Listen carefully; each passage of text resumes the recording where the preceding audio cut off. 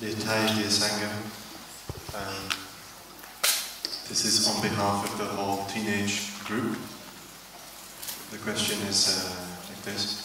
I am sure I'm not the only one to feel loneliness or sadness, as well as anger towards myself. I have recently struggled with self-hatred and being overly demanding, impatient, uncaring, and mean towards myself. I didn't take care of my body, and I would emotionally and physically harm myself. How do I learn to care for myself and love myself after having this deep sadness become my habit energy? And how do I stop the negative perceptions of myself?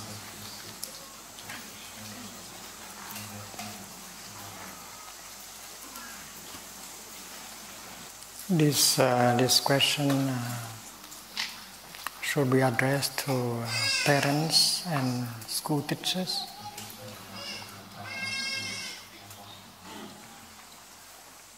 And if uh, parents and teachers uh, have enough time, they will see that uh, it is the environment that is responsible for this situation of the teenagers.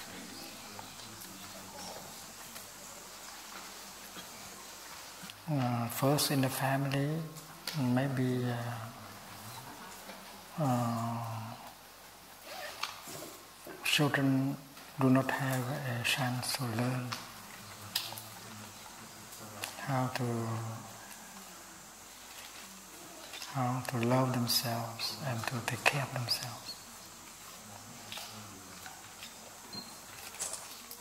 If uh, parents know how to love themselves and take care of themselves, and then children will naturally learn from them because parents are a kind of teacher.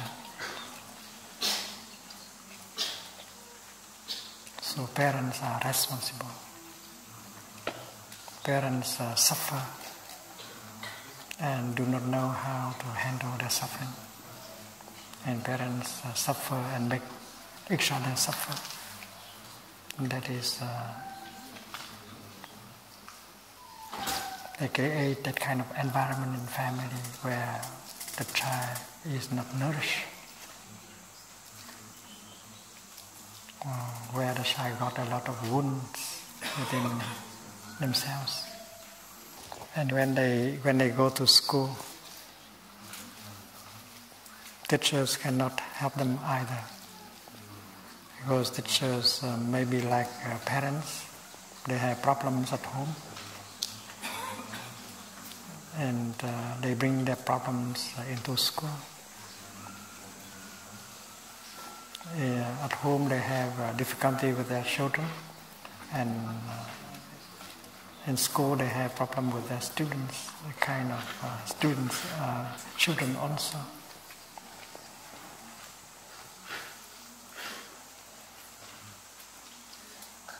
And if uh, school teachers do not know how to handle the suffering in them,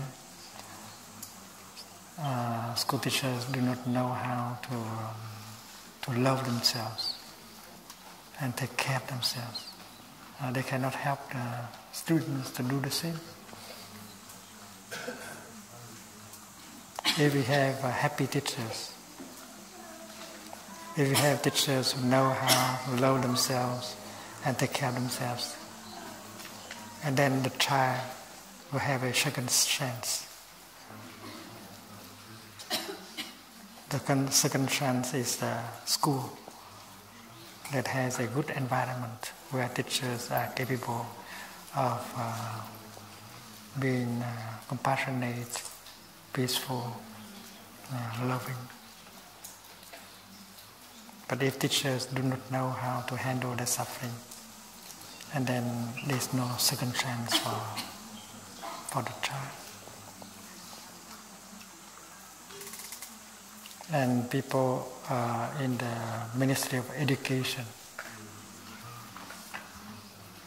they should be aware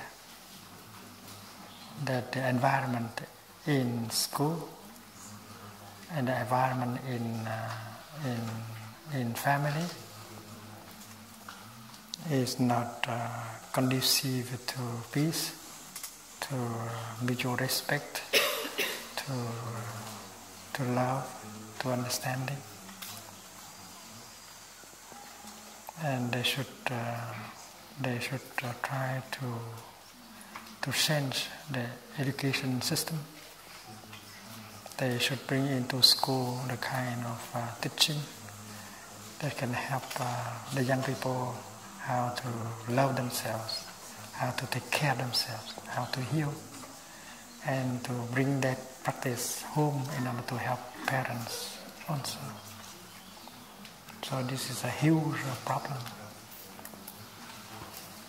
And uh, but the young people, they can help. They can express themselves. Suppose, uh, like this morning, when you ask the question, you help uh, us as parents and teachers to be aware of the situation. Because uh, we may be too busy with our suffering, with our anger, with our problems, that we do not have the time to listen to you. So, as uh, you are there and ask the question, you help us to know what is going on. And we have a chance to, to think about changing our way in order for you to have uh, a better chance to change.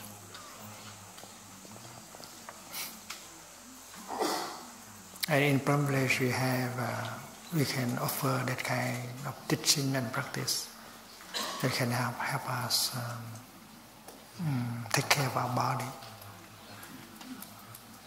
Uh, uh, protect our body and treasure our body and uh, heal. And when we are able to do that, we can help our parents and our teachers also.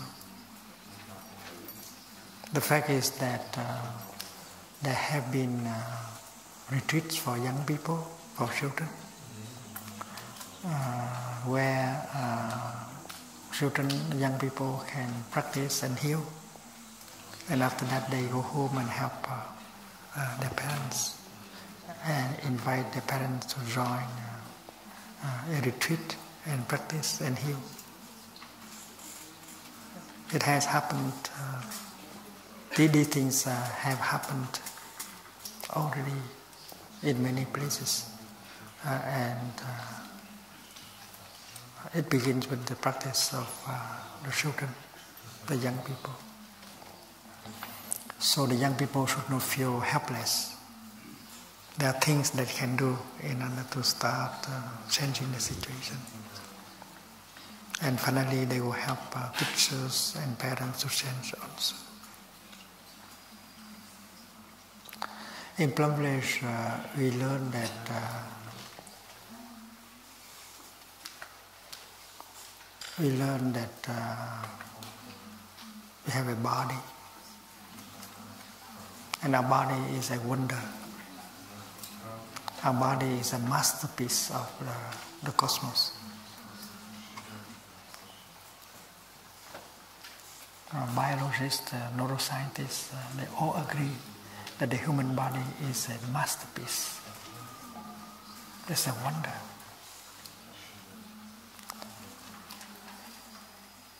And we have to learn how to treasure, to protect, to preserve that uh, masterpiece of the cosmos. And we also learn that uh, this body has been transmitted to us by generations of ancestors.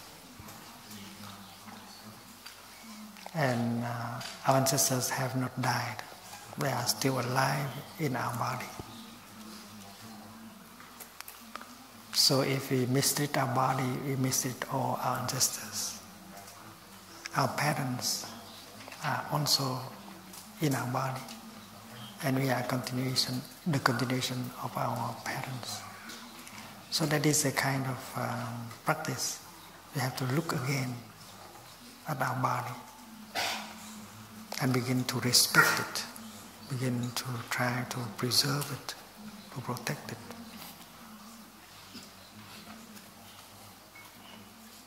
And we also learn very concrete things like uh, to calm our body. There is uh, there is uh, stress, uh, tension, and pain in our body. And in Plum Village you learn how to breathe and to work in such a way that can release tension in our body. These are very concrete practice that maybe uh, parents do not know and teachers do not know. But we have a chance to know to do that. We can practice uh, releasing tension, reducing pain in our body. Then in plum Village we also learn how to how to calm a feeling, how to calm an emotion, and to have a peace. These things uh, have not been taught by our parents and our teachers, but now we have a chance to learn. So there are a lot of things uh, teenagers can do and improve themselves first. We know that the five uh, mindfulness trainings are very helpful. If you live according to the five trainings, you can protect yourself. You don't allow, you don't allow yourself, uh, your, your body and your mind to be, um, to be destroyed, to be ruined by the environment.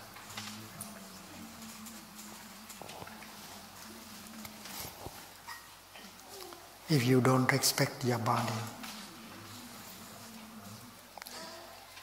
and the other person will not respect your body if you don't respect yourself and they don't respect you that is why you have to respect yourself first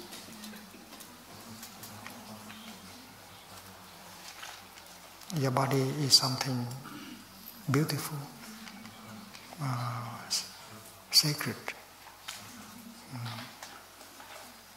This is a masterpiece of the cosmos. And uh, it can be filled with peace and well being and joy. And if we know the practice, we can help our body um, to, uh, um, to be uh, protected, to heal and to be a source of joy for us and for other people.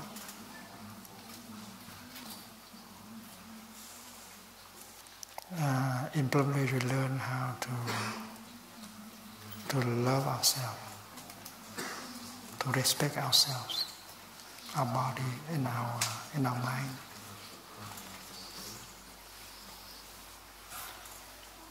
And the five mindfulness trainings are very concrete practice in order to do so.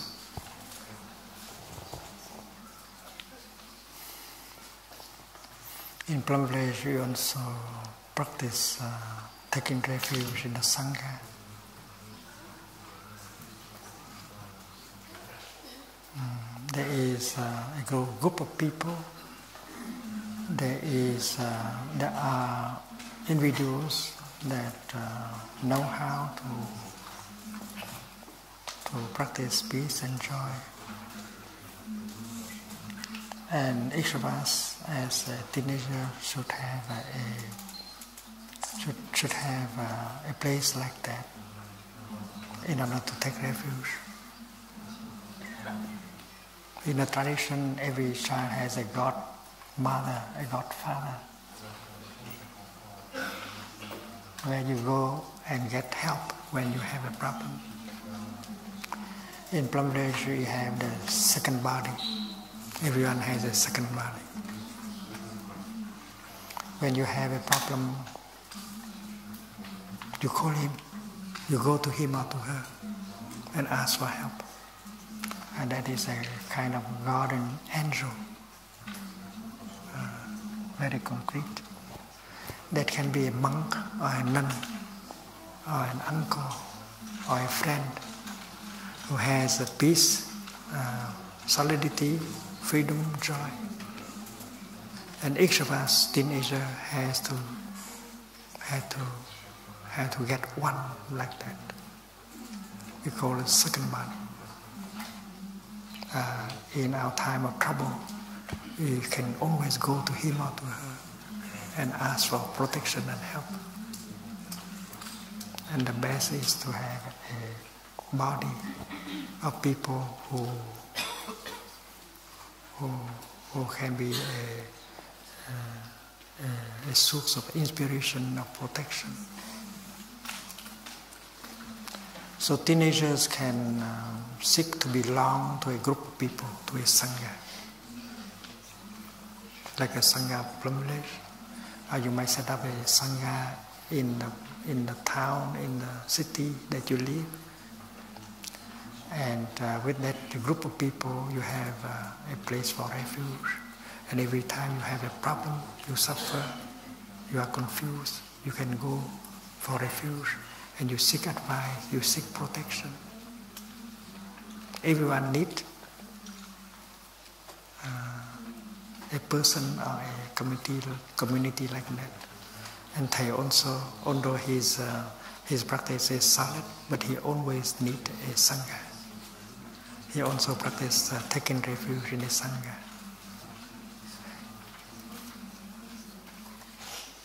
Uh, there are young people in Village. There are, there are monks and nuns, novices, uh, under 20.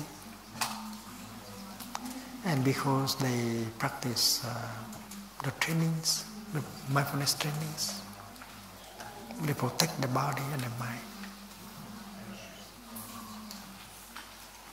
And uh, they are pure, they are fresh, they are solid because they practice the precepts. And practicing the precepts, they generate uh, the, the energy of uh, holiness. You know, holiness is something, la sainteté is something possible.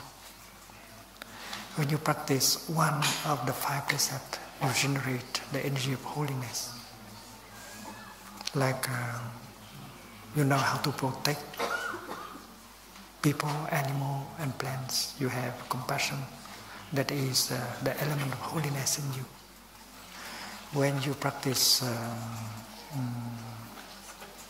uh, uh, right speech uh, and compassionate listening and help people to suffer less, and you generate the the element of uh, the energy of holiness in you. And the element of holiness is a kind of energy that can protect you. When you protect, when you practice the fifth mindfulness training, you consume only the healthy uh, products. You don't consume alcohol and drugs you don't use marijuana, cocaine. Uh, you refrain from drinking uh, um, alcohol. Uh, you keep your body healthy and sane. You practice, uh, you generate uh, the energy of holiness. So, in Plum Village, I see very young monks and nuns and lay people at the age of my grandchildren, and yet they are capable of generating the energy of holiness, and I take refuge in them. Uh, that holiness uh, generated by the practice of mindfulness and concentration and insight, so equivalent to the Holy Spirit in Christianity. And if you are protected by the Holy Spirit, and then your body, your mind is protected, and you have that kind of holiness, purity, um, peace, and joy. And you can heal very easily. It is the Holy Spirit that can heal you. It is the whole the, the energy of holy, holiness by uh, generated by the practice of the precepts of uh, mindful walking, mindful sitting, mindful talking, mindful uh, handling of your anger. Uh, it is that energy that can heal you. And uh, to be holy is possible. And uh, when you are sane, healthy, uh, joyful, compassionate, you can help your parents, you can help your teachers. So organize yourself into groups of practitioners, supporting each other, practice uh, healing and nourishment every day, and you get the healing that you need. Mm. There is the whole, the all uh, habit energy of letting go, of uh, of uh, of letting yourself be uh, be carried away by sensual pleasures, by anger, by uh, fear, by hate by despair. But now it can begin to, to, to create a new habit, energy, the, the habit energy of uh, holiness, of, uh, of peace, of mindfulness, of brotherhood and sisterhood, uh, in order to heal us. This is possible with the teaching uh, of the Buddha that, uh, that you can find in Plum Village. Uh, you know, Plum Village is um, a simple place. There's no um, nothing fancy, but um, but the environment is healthy. It's sane. There's a spirit of uh, uh of uh, of brotherhood uh, sisterhood, uh, there's uh, the feeling of peace because everyone is practicing peaceful walking, peaceful sitting, peaceful talking, peaceful consuming. So this atmosphere is a very um, is very um, mm, conducive uh, to healing. And you, uh, young people, you can help uh, create Uh, uh, environment like that. Uh, and together you can help create that environment in school, that you can create that environment in, uh, in the family because uh, one person may not be able to create, but three of you, four of you, five of you together, and if you have that collective energy of peace and, and, and brotherhood and sisterhood, uh, wherever you go, you bring that energy along with you, and you can come, begin to change people, to change the, the atmosphere uh, in. Uh, in, in the place you go. So don't be despair. Uh, we can create new habit, good habit, the habit to be compassionate, the habit to be um, um, peaceful, uh, and uh, we can heal our anger, our despair. Uh, don't give up. Uh, and the five mindfulness trainings are not. Um, are not something they impose on you. Because you wake up and then you see that uh, you don't like that kind of uh, living anymore. The style of life that can, that can, that is always destroying your body and your feelings anymore. And you realize that living according to the five trainings, you can heal yourself. That is why you are wholeheartedly um, taking up that kind of uh, practice in order to heal you and help heal your family and your group. So they propose that you sit up as a group and discuss and find a way uh, uh, to create uh, together a new habit, good habit. Uh, you learn how to walk again, how to sit again, how to eat again, how to drink again, how to talk again, in such a way that peace and, and, and, and compassion and brotherhood is possible. I have confidence that the young people can, can do it. I have tried as a young person. Good luck.